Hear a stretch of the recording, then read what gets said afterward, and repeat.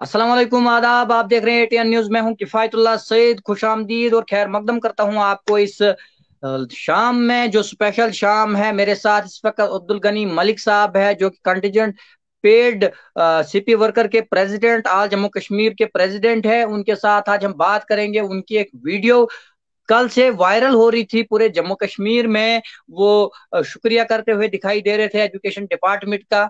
आज हम उनके साथ बात करेंगे लाइव में कि आखिरकार क्या खबर थी वो जिसके ऊपर आपने उनको मुबारकबाद दी? क्या खबर थी वो? क्या हम अपने व्यूअर्स को भी सुनाएँगे कि क्या उस खबर में कौन सी खुशखबरी थी? तो सबसे पहले आप तमाम लोगों से गुजारिश करूँगा कि वीडियो को ज़्यादा से ज़्यादा शेयर करें ताकि जो रियलिटी होगी वो हम आपको दिखाने की कोशिश करेंगे। और बिलगनी साहब, आपका बहुत बहुत इस्तकबाल है हमारे channel all types of news पर। हाँ जी। जी हमने वो शुक्रिया डायरेक्टर स्कूल एजुकेशन कश्मीर को किया था कि 2000 साल सोलह से हमारी डीपीसी जो पेंडिंग डीपीसी वो रुक गई थी। ऑर्डर एक निकाला था कि डीपीसी आपकी हो जाएगी डायरेक्शन ऑफ़िस में।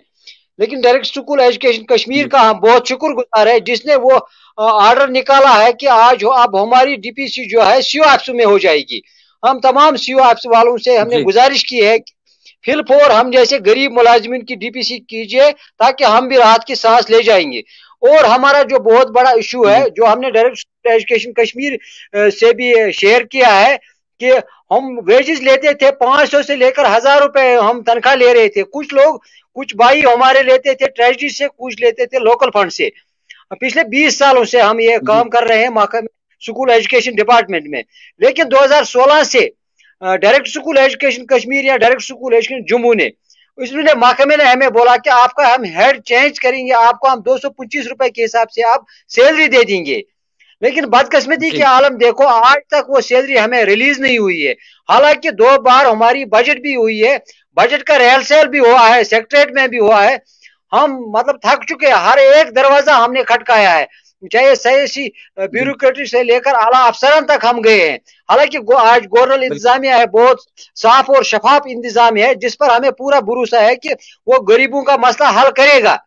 ले हम हमने उन तक भी ये आवाज़ पहुंचाई है।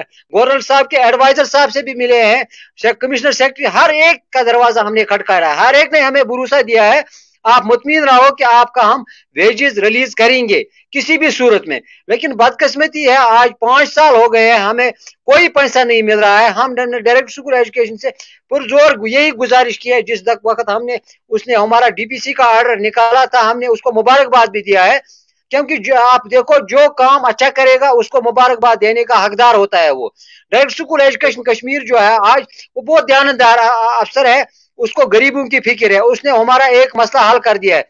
हमें भरोसा है, वो दूसरा मसला भी हल करे। हमने उससे गुजारिश किया है कि आप मेहरबानी करके हायर अथॉरिटी से बात कीजिए, चीफ सेक्रेटरी से, गवर्नर से बात कीजिए। हम जैसे गरीब मुलाजिमीन है, हम पाँच सौ से लेकर हज़ार रुपए तनख्वाह ले रहे हैं। आप लोगों ने हमें वो बंद कर दिया। आपने बोला, आपका हेड हम चेंज करेंगे। मेहरबानी करके हमारा हेड जो है, वो चेंज कीजिए। ताकि हम भी रात की, हमारा जो मिनिमम वेज एक्ट के हिसाब से तनख्वाह मिल रहा था, दो सात हज़ार रुपए हमें मिले, मिलेगा आपने, जब वादा दिया था हमें महकमे ने, वादा दिया आपको सात हज़ार के हिसाब से तनख्वाह मिलेंगे। मेहरबानी करके वो सात हज़ार के हिसाब से हमारा तनख्वाह as per minimum wage act के हिसाब से रिलीज़ कीजिए, ताकि हम भी राहत की साथ और दूसरा, तीसरा पॉइंट महकमे ने हमारे साथ एक सौतेली माँ का सुलूक किया है, क्योंकि हमें डिस्ट्रिक्टों में होता था 50 परसेंट एज पर 50 परसेंट कोटा हमें एस आर ओ के S R O three zero eight के तहत हमें मिलता था। लेकिन उसमें अक्सर पोस्ट महकमे ने हमारे फ्रीज कर दिए हैं। उधर रह गए हैं अब जिस डिस्ट्रिक्ट में सौ पोस्ट है, उसमें पचास या दस या बीस पोस्ट हैं। लेकिन उससे हमारा मसला हल नहीं होता है। अब हमने डायरेक्ट स्कूल एजुकेशन कश्मीर से फिलफोर हमने गुजारिश किए थे, मेहरबानी करके हमारी जो वेजेस है वो अगर रिलीज़ हो जाएगी ताकि कंडीशन पेड थोड़ा बहुत राहत इसको मिलेगा। और वो जो डीपीसी का मसला डायरेक्ट स्कूल एजुकेशन ने, साहब ने हमारा ऑर्डर निकाला है, उसके लिए हम उसको शुक्रिया आपके चैनल के माध्यम से भी हम शुक्रिया उसको करते हैं कि उसने वो ऑर्डर हम हम जैसे गरीब मुलाजिम का थोड़ा बहुत राहत हमें हो गई है। कम से कम पच्चीस परसेंट लोगों को फ़ायदा मिलेगा। लेकिन जो पचहत्तर परसेंट लोग हैं कंटीजेंट पेड है वो गरीब मुलाजिमिन है। हर वक्त ड्यूटी दे रहे हैं कोरोना वायरस हो या कुछ भी हो कोई भी हालात का मसला हो कश्मीर में आपको पता है कश्मीर का हालात कैसे बदल जाते हैं। लेकिन कंटीजेंट पेड़ हर वक्त अपने जान को जुखम में डालकर कुर्बानी देता है। चाहे स्कूल जलाने की बात आते हैं स्कूल बचाते हैं। हालाँकि में हमारे कुछ बंधु का हार्ट अटैक भी हो गया इसी वजह से क्योंकि उसको चार साल काम करते हैं कुछ मिलता नहीं है। इसलिए आप आप, आप से गुजारिश करते हैं। हम आपसे ऑल टाइप न्यूज़ का बहुत शुक्रगुजार है। आप लोग हमारा मसला आगे तक पहुंचाते हैं। हम आपसे भी गुजारिश करते हैं। मेहरबानी करके ये हमारा मसला गौरल इंतजामिया तक पहुँचाए ताकि हम गरीब मुलाजमिन का मसला जो है मिनिमम वेज एक्ट का वो हल हो जाएगा। हमारा मसला हल जो हम थोड़ा बहुत राहत कंडीशन पीरियड को हो जाएगी। अगर इसको मिनिमम वेज एक्ट के हिसाब से कम से कम लेबर रेट के हिसाब से तनख्वाह मिलेगा। क्योंकि चार साल से बेचारा इसी आश के साथ बैठा है। कुछ भाई हमारे इस दुनिया से गए भी है इसी आश के साथ आज हमारा मसला हल हो जाएगा कल हमारा मसला लेकिन आज चार साल पाँच साल हो गए हम मुफ़्त में काम कर रहे हैं।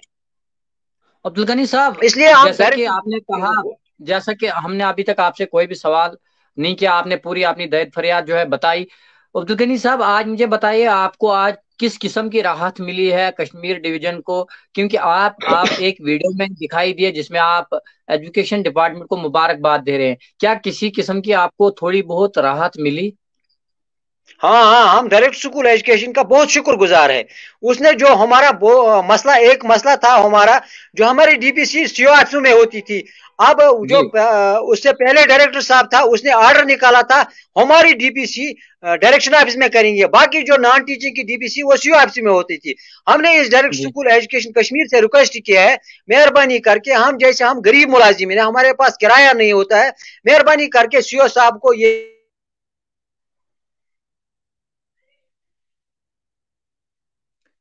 आपकी आवाज़ वहाँ से चली गई है। शायद आपने माइक अपनी बंद कर दी है। यह है हमारे साथ अब्दुल गनी मलिक साहब, कंटीजेंट पेड सीपीडब्ल्यू वर्कर के प्रेसिडेंट कश्मीर जम्मू कश्मीर के। और आज जो कश्मीर प्रावंस है, उसके ऊपर कुछ बातें जो है इशू कर दी गई है एजुकेशन डिपार्टमेंट की तरफ़ से। तो उनको ये वाजिया कर रहे थे उसी चीज़ को हमने सोचा कि हमारे चैनल के ऊपर एक वीडियो रिलीज़ की गई थी जिस, जिसको बहुत सारे लोगों ने देखा। उस वीडियो को दिखाने का मकसद और इस वक्त लाइव आने का मकसद जो था वो यही था कि हम आपको बता पाए कि इस वक्त जो है कश्मीर प्रावंस में एजुकेशन डिपार्टमेंट में सीपीडब्ल्यू वर्कर्स का कुछ थोड़ा बहुत हुआ।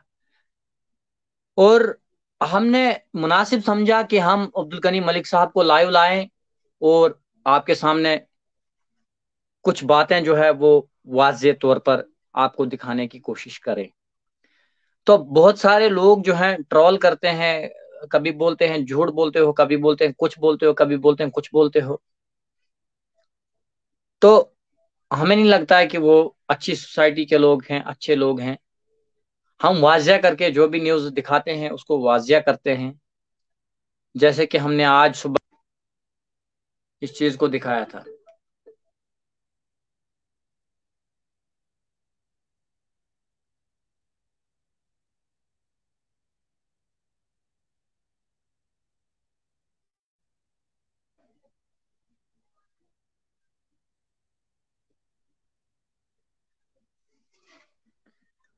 तो जो ट्रॉल करने वाले हैं उनसे मैं गुजारिश करूँगा कि ट्रॉल ना करें। ऐसे ही बहुत बकवास करते रहते हैं हमने कमेंट्स में। खुदारा खुदारा ये देखें कि रियलिटी क्या है क्या दिखा रहे हैं क्या नहीं दिखा रहे हैं। फ़िलहाल शुक्रिया जो लोग हमें प्यार करते हैं उनका भी शुक्रिया। जो लोग हमसे नफरत करते हैं उनका भी बहुत बहुत शुक्रिया कि उनकी नफरत की वजह से हम यहाँ पर, पर पहुँचे हैं। फिर मिलूँगा आपके साथ किसी नए लाइव में तब तक के लिए। खुदा हाफिज गुड बाय और अगर हमारे चैनल को अभी भी आप में से कोई भी मदद करना चाहता है तो आप हमें मदद कर सकते हैं। आप हमारे साथ बात करके मदद कर सकते हैं, क्योंकि हमने भी चैनल के कुछ रिक्वायरमेंट्स हैं। तो वो रिक्वायरमेंट्स हमने जो है लाने हैं। मैं कल जम्मू जा रहा हूँ, शायद मैं वहाँ से दिल्ली जाऊँ। तो हमें भी आप लोगों की उम्मीद है कि आप जो है चैनल का कोई भी ज़रिया नहीं है, आमदनी नहीं है तो आप लोग ज़रूर हमें मदद कर सकते हैं। आप तमाम लोगों के पास मेरा व्हाट्सएप नंबर है। अगर आपके पास मेरा नंबर नहीं है व्हाट्सएप का तो आप जो है फेसबुक पेज में जाइए, वहाँ पर आपको नंबर मिलेगा। तो आप मुझसे रबता कर सकते हैं। आपको मेरा अकाउंट नंबर भी मिल सकता है। खुदा हाफिज, फिर मिलूँगा आपसे